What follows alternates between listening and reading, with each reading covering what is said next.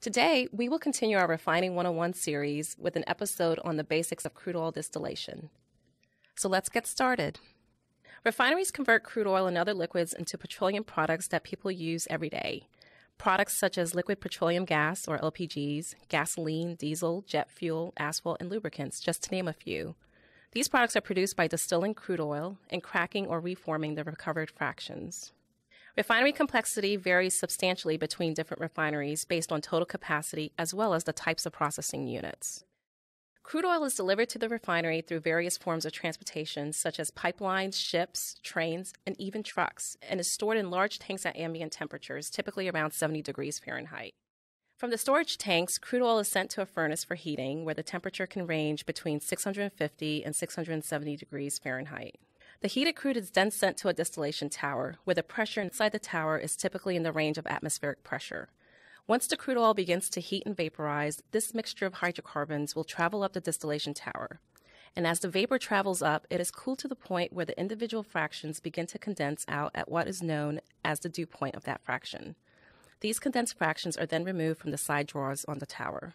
The lightest portion of the crude leaves at the top of the tower as a vapor, these materials have a boiling point of less than 90 degrees and are typically comprised of components such as methane, ethane, propane, or butane.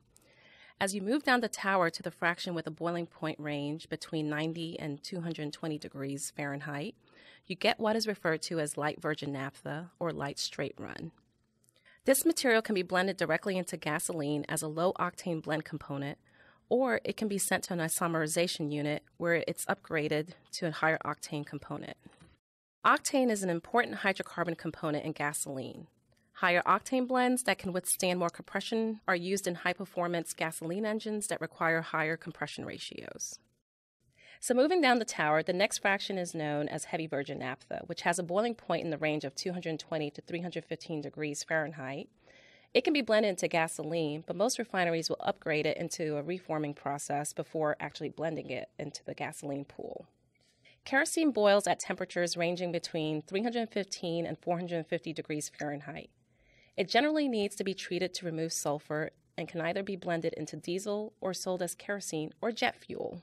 Diesel boils between 450 and 650 degrees Fahrenheit. And like kerosene, diesel often has to be treated to remove sulfur before being sold as diesel fuel. Some refineries have the flexibility to send this material to another unit for additional conversion, where the diesel can be converted into a gasoline boiling range material. And finally, as you move towards the bottom of the tower, we have what we call the atmospheric tower bottoms fraction, and this includes anything that boils above 650 degrees Fahrenheit. The atmospheric tower bottoms are generally sent to a vacuum distillation unit, which operates below atmospheric pressure, meaning if you have an open valve on a vacuum distillation unit, it will actually suck the air in. We utilize a vacuum distillation unit because liquids will boil at lower temperatures when exposed to lower pressure environments. Instead of working with very high temperatures of around 1000 degrees Fahrenheit, the reduced pressure in the vacuum distillation unit allows you to lower the temperature required to separate the fractions in the atmospheric bottom stream. Typically, there are two fractions that leave the vacuum distillation unit.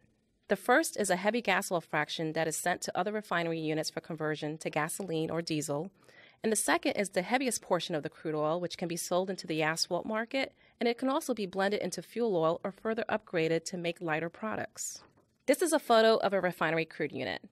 The tall vessel in the middle is the atmospheric distillation tower. The shorter vessel to the right, the one with the bands around it, is the vacuum distillation tower. As you can also see in the photo, there are many pipes running from the top and sides of the crude and vacuum towers. Some of these are the side draws referenced earlier, which are used to remove each of the individual fractions.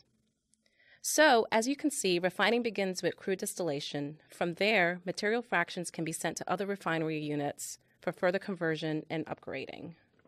In our next episode, we will be discussing some of those other units and the various configurations in a refinery. Thank you for listening to Energy Matters.